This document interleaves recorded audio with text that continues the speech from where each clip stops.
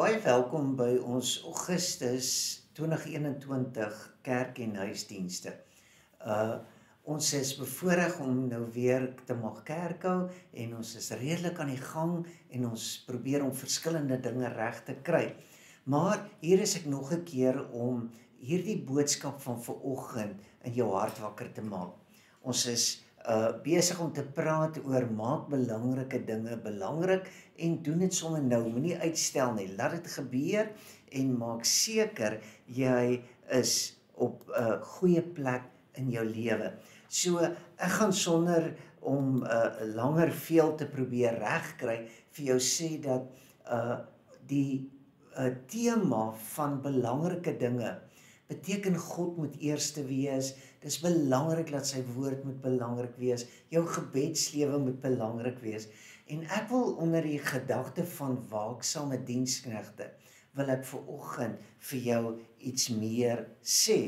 En daarom uh as ek uh, jou kan uh uh gryp om om reg waar jy is wanneer jy na hierdie video kyk om vir jouself op 'n plek te bring waar jy dink wat is belangrik en kom ek doen dit nou. Kom ek kom ek kry dit afgehandel. Dan dink ek as daar een ding wat ek en jy elke dag moet regkry en dit is om God te erken. Om te sê daar's niks belangriker as om God erkenning te gee nie. Om hom as die autoriteit van my lewe te aanvaar. En uh wanneer 'n mens praat van autoriteit, dan maak jy hierdie erkenning eintlik om te sê maar dan beteken dit ek is ondergeskik of ek is diensbaar. Met ander woorde, ek voer dit uit. Ek is eintlik soos 'n dienskneg. En ek dink die woord moet so uitgelewe word dat ek en jy kan sê ja, Here, ja en laat ons doen wat God wil hê ons moet doen. Maar Ek dink jy gaan dadelik saamstem. Daarvoor het ons God se hulp en krag nodig. So, kom ons kyk hoe dat die woord van die Here ons gaan help. Ek gaan vier teksverse vir oggend om mekaar skakel en daaruit vir jou uh probeer vertel of of laat bewus raak van dat jy God se hulp nodig. Nou Psalm 121 vers 2 roep die psalmdigter uit en hy sê my hulp is van die Here wat hemel en aarde gemaak het. Wil jy daardie deklarasie, daardie verklaring nou saam met my doen en sê Here, ons hulp is van U. Dis U wat alleen ons kan in staat stel. Nou in die Bybel in uh Markus die 9de hoofstuk het ek uh op die verhaal van die van die pa afgekom wat na Jesus toe kom. Hy die die Bybel sê hy dadelik geroep uh uh en en dan sê hy met trane in sy oë en dan sê hy Here ek het U nodig. En dan sê hy ek glo Here kom my ongeloof te hulp. Nou ek wil hierdie tweede vers wil ek koppel aan die eerste vers om vir jou te sê die Here is ons hulp hy is ons uitkoms maar ek en jy moet daarvoor kan vra en daarna soek. Nou uh wanneer ek Lukas 12 lees en ek gaan redelik fokus op Lukas 12 want daar's 'n belangrike beginsel wat ek wil hê ons moet ontdek as ons die hulp van die Here nodig het. Dan sê vers 10 en elkeen wat 'n woord teen die seun van die mens sal spreek, dit sal hom vergewe word. Vir hom wat gelaster het teen die Heilige Gees, sal dit nie vergewe word nie baie interessant dat daar 'n oortreding, 'n sonde is wat nie vergifnis kan kry nie. En hier word dit in ons vertaling beskryf as dat jy het gelaster teen die Heilige Gees. Nou, voordat hierdie teksvers nou weer vir jou 'n probleem word, wil ek jou dadelik na vers 35 toe vat van Lukas 12 en hoor hoe dat Jesus ons oproep en vir ons sê: "Laat julle heupe omgord wees en julle lampe aan die brand. Nou, hoe kan ek voluit vir die Here lewe? Hoe kan ek doen wat die Here van my vra? Nou, Lukas 12 wil 'n belangrike punt maak oor wat dit is om 'n dienskneg te wees. Maar ek wil sê jy's 'n dienskneg van jou eie lewe. Jy het 'n verantwoordelikheid teenoor jou eie lewe. Ek dink is belangrik om volle verantwoordelikheid te vat vir jouself en vir wat jy doen. Ons moet op 'n plek kom waar ons nie skuld gee vir ander mense nie, maar dat ons onsself sal vat en sê ek het 'n rol om te speel. Nou daar's iets belangrik waarmee hierdie hoofstuk begin en dit het my so laat dink aan wat uh tans gebeur in Afghanistan en hoe dat mense op daardie lughawe saamdrom en almal probeer om te vlug vir die vyand of dan nou vir die uh nuwe regering. En dieselfde ding het in Jesus tyd gebeur. Vers 1 sê toe duisende van die skare ondertussen saamkom, het hulle mekaar vertrap. Hulle begin en Jesus begin toe om vir sy disippels te sê in hierdie vertrapping, in hierdie baie mense, is Jesus se disippels hier naby hom en hy sê vir hulle pas veral op vir die suurdeeg van die fariseërs. Dit is gefeinstheid nou ek wil net in die konteks van hierdie gedeelte wil ek hê jy moet dit snap dat uh wanneer mense begin saamdrom is dit omdat daar iets gesê is omdat daar iets gebeur het.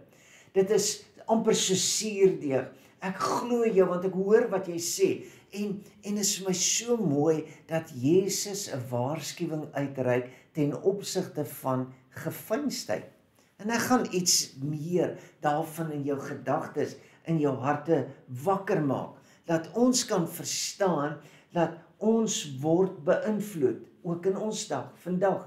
Jy's beïnvloed jy word beïnvloed. En Jesus het sy disippels voorberei en vir hulle gesê in die eindtye gaan daar probleme wees.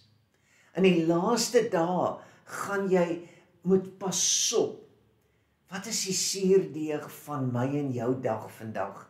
Ek wil sê is die suurdeeg van om te twyfel of God sal doen wat hy beloof het om te doen en of ek sal kan regkry. Met ander woorde, ek is beïnvloed.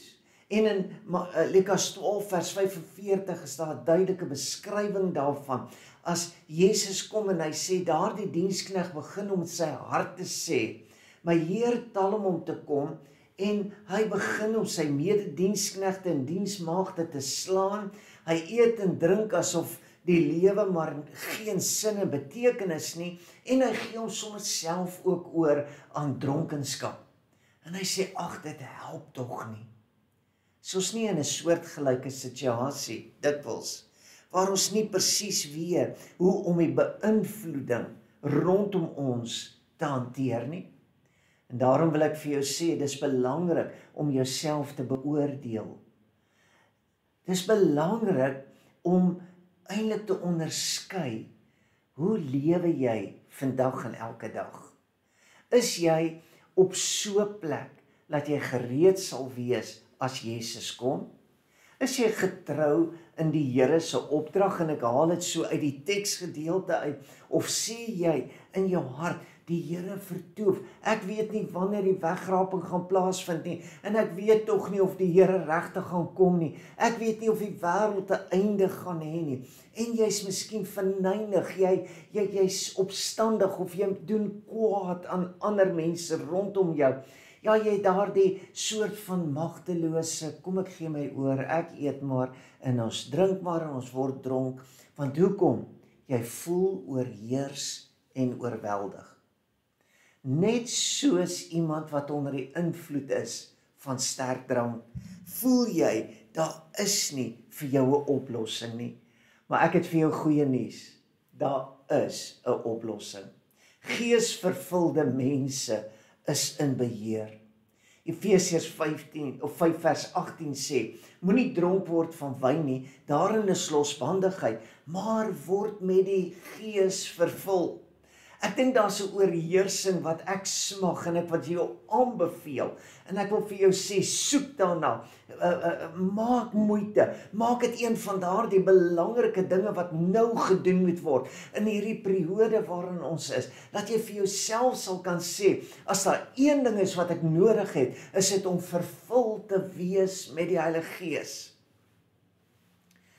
as Lukas 12 vers 35 Jesus vir die uh uh vir die mense in hierdie uh uh oomblik sê, laat julle heupe omgord wees en julle lamp aan die brand wees, dan dan sal 'n sinspeling daarop dat die woord en die gees gaan saamwerk om jou in staat te stel om waaksaam besig te wees. Om versigtig elke dag te doen om die belangrike dinge belangrik te kan hou. Nou is daar in Lukas 12 'n algemene 'n uh, 'n uh, tema wat eintlik dwars deur die hoofstuk beweeg. En hierdie deurlopende tema in Lukas 12 is dat wat doen besittings aan jou? Kom ek sê dit anderster, wat doen geld aan jou? Wat doen dit aan jou om geld te hê of nie geld te hê nie? Om besig te wees of nie uh, te kan koop en te verkoop en te voel jy word beperk op sekere plekke. Hierdie vertrapping van die skare en dit is vir my so sinspelend op op dit wat ons vandag belewe. Mense sal mekaar verdring om net te mag hê. As ek sien hoe die hoofstuk met mossies wat verkoop word begin en hoe dat die een na die na Jesus toe kom en sê Here sê vir my broer dat hy sy erfenis met my moet deel. Die ander een wat skure wil afbreek. Die ander ene wat hom kwel oor die lewe oor wat sal ons aantrek en hoe gaan ons? Die verkoop van besittings is in die hoofstuk. En om rantsoene te gee word 'n verantwoordelikheid van 'n dienskneg. En dan sal die dienskneg sê wat ek wou moet kry Hoe moet ek dit reg kry? Maar as jy besef jy's 'n dienskneg, sê jy verstaan, die rantsoene is in die huisheer se spens. En daarom is die woord in die Heilige Gees juis daar, dit wat ek en jy uit die Bybel uit kan vasvat en raakvat in ons eie maak, kan ons in staat stel om waaksame diensknegte te wees wat God se woord en God se krag kan demonstreer hierdie omgord wees en hierdie lampe wat aan die brand moet wees my en jou lewe wat 'n verskil nou moet maak in ander mense se lewens. Ek vind dit in die Markus 9 pa se verhaal. Die pa wat vir sy seun se onthaalwe gees vervuld optree. Hy roep uit en hy sê Here help Maar dis nie presies sy woorde nie. Jesaja roep wat sy woorde was. Dat hy kom en hy sê: "Here, ek glo, maar kom my ongeloof te hulp."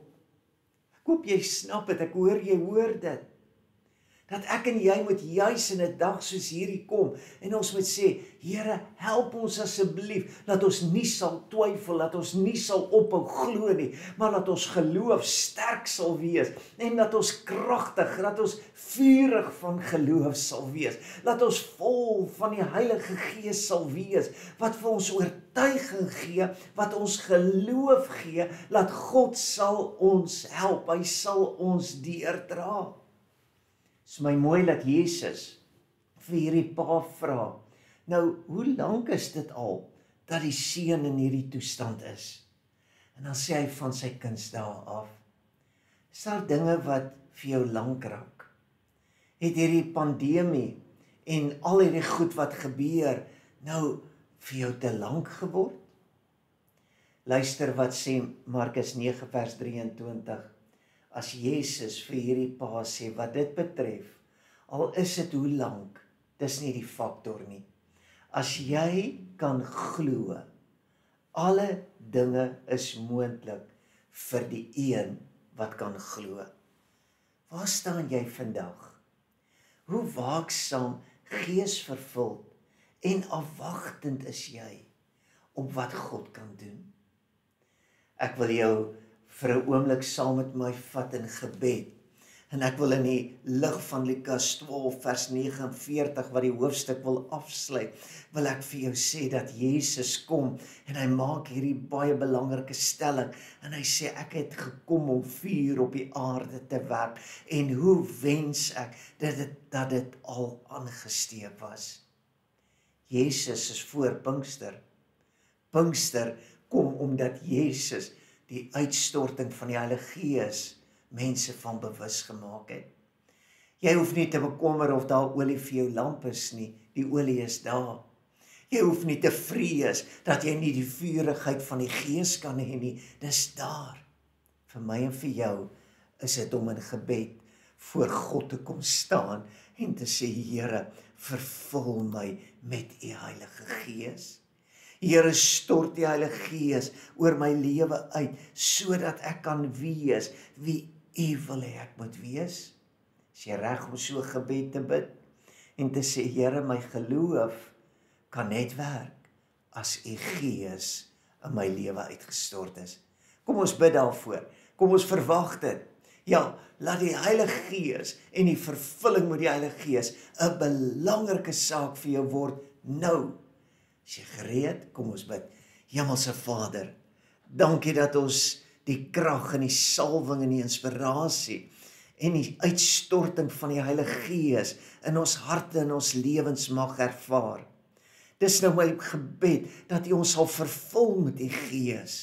Here laat ons waarlik oortuig sal wees van die salwing en die inspirasie van die Heilige Gees. Laat daarom u krag deur ons werk en laat u naam groot gemaak word.